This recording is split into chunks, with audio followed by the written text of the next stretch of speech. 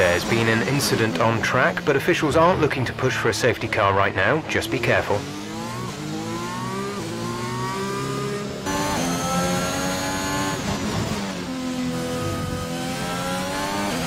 There's been an incident on track, but officials aren't looking to push for a safety car right now. Just be careful.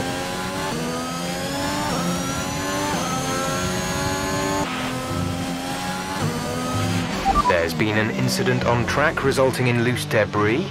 Fortunately, the marshals have managed to clear it up in time and there are no plans for a safety car right now.